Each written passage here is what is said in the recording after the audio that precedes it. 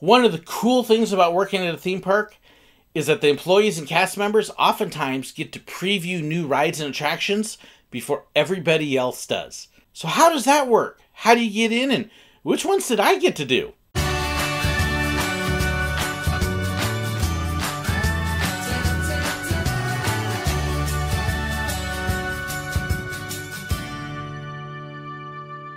Caster employee previews are one of the really neat things that happens when you're working at a park. Now, of course, parks are constantly looking for new ways to bring in guests and customers, to attract new people to come to the park, to make people come back again. The easiest way to do that is to bring in new rides, new attractions, new shows, and things like that. Things that people say, hey, I haven't experienced that yet. Let's go. Parks are constantly adding new things. One of the perks that comes with working at the park is that oftentimes you are given the chance to ride that or experience it before the regular guests do.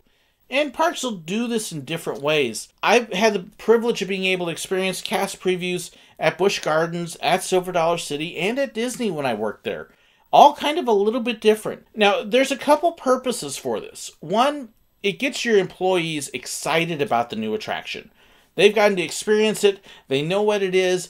For them, it's really cool, and it gives them a talking point with the guests who are coming in the park. Hey, is this thing worth doing? Oh, yeah, I've done it. It's awesome. So it's a great talking point that way. It also gives your employees a good excuse to essentially give free advertising and PR to the park because they're going to go home and they're going to tell their families and their friends and then their friends will tell friends and they'll probably post on social media that, hey, I got to do this. I mean, you want proof? Look at the people posting that they've gotten to fly the Millennium Falcon already and Star Wars. Disney isn't even open yet. So there's a lot of excitement that it will help to build up. But the other big benefit is it allows the people that are working on that new ride or attraction to practice with living people the load, unload, bring people in, the whole operations and everything, they actually get an opportunity to run the ride live with real people. But at the same time, these people are going to be happy, friendly, forgiving, understanding as the new ride works because they do the same kind of thing. It makes it a much easier process to finish your training and get used to how things are supposed to work with real people before the possible grumpy guests come in. The ones that are demanding, this is the new ride. Why isn't it running smooth? I paid money to come in. It gets you to the point where you're able to run it smooth so that way there's not as many issues. Because new rides, you're working and learning things and working bugs out and stuff like that. It lets you do it with friendly people who are very understanding because they're getting an opportunity to see it before everybody else. So there's a lot of good that comes out of the ride previews for the employees. I basically got to do four different ones one at Busch, one at Silver Dollar City, and two at Disney. The one that I got to do at Busch was actually kind of a special media day as well as a ride preview, and that's when they opened up SheiKra. SheiKra is the dive coaster at Busch Gardens, and it was the first one in the States that they had built. It's a great ride. I actually first got to experience SheiKra with the Florida Coaster Club for their media day. They actually had not even finished building the station yet, and I've done a whole video that talks about that media day and what it was like. So I'll link that for you up above. Had a lot of fun, but then they opened it up shortly afterwards to employee previews as well, where you would have a couple days for a few hours, typically before the park opened, where the employees could go and they could ride the ride before the guests came in and they could experience it. They actually did a couple during the day when the park was open. And so over at Rhino Rally, where I was working, we actually had one day where they were doing employee previews all day.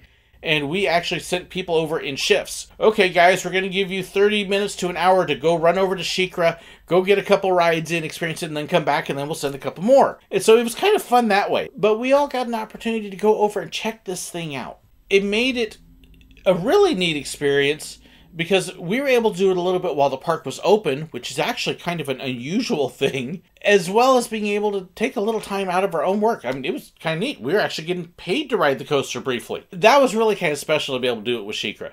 At Disney, I got to partake in two. One I wasn't actually officially a cast member at, and then the other one I was.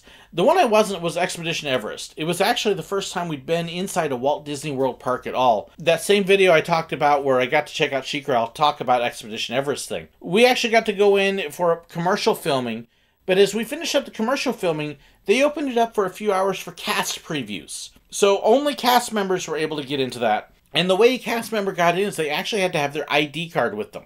So if they were walking up to get on the coaster, they would actually have to hold up their ID card to the people at the gates to let them know, see, I am really a cast member. Now, Disney at the time, if I remember right, allowed the cast member and one guest in.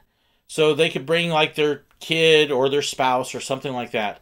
And they got to experience the ride before everybody else. And it was open for a few hours that way just for cast members.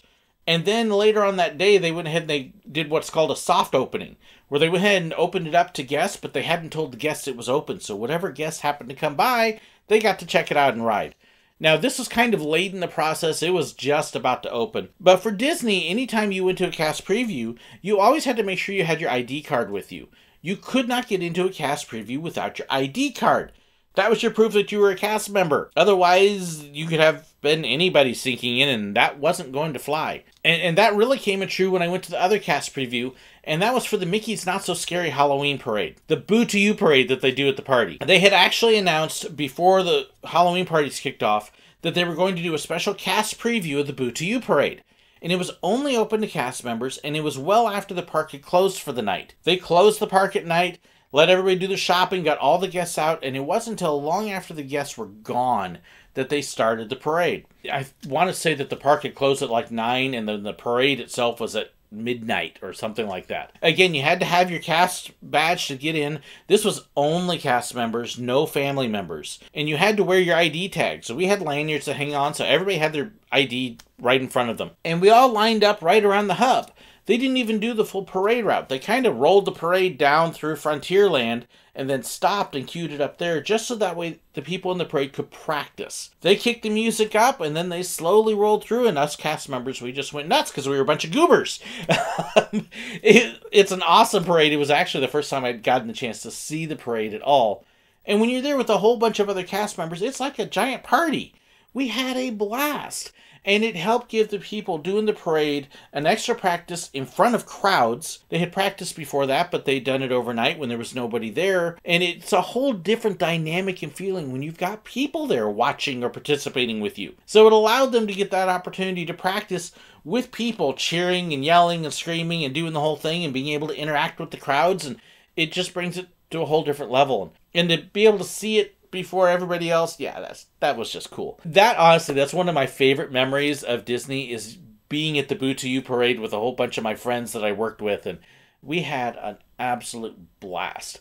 That was really cool. The one I got to do at Silver Dollar City was actually for Outlaw Run. And Silver Dollar City did theirs a little bit differently. They didn't necessarily have a cast preview day, they had a time. Now, again, I mentioned the media days. This is when they invite people from outside the parks, from TV and radio and vloggers and stuff like that to come check out the new attraction so that way they send up all this free publicity and you get to see it on the news and online and all sorts of stuff like that. So they really want to drum up all this attention. For Outlaw Run, we had a media day in the morning that went to, I want to say like noon or 1.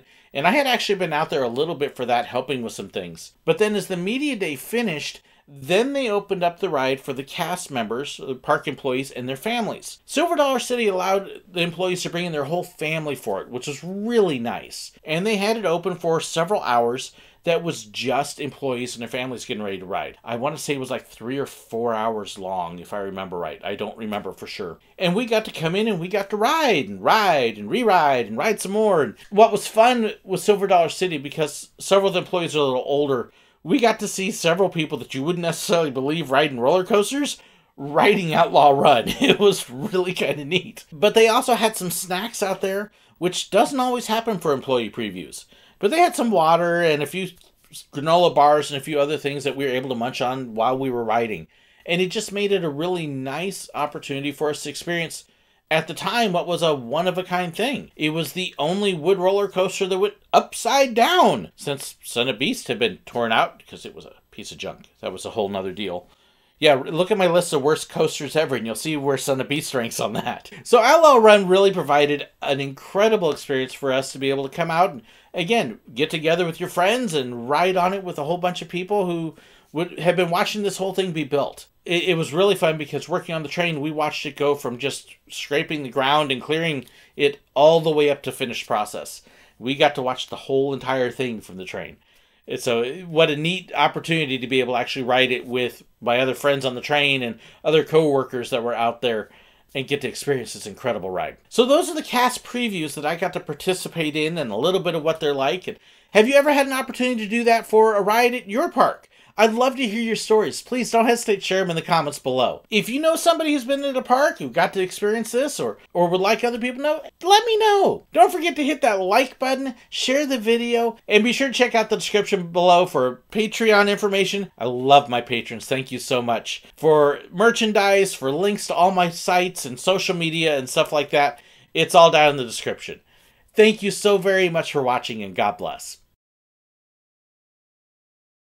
Now, of course, theme parks are constantly looking for new ways to bring guests to come. okay. So those are the media days I got to experience and a little bit of a look at what they're like. Have you got an experience? That's not media days.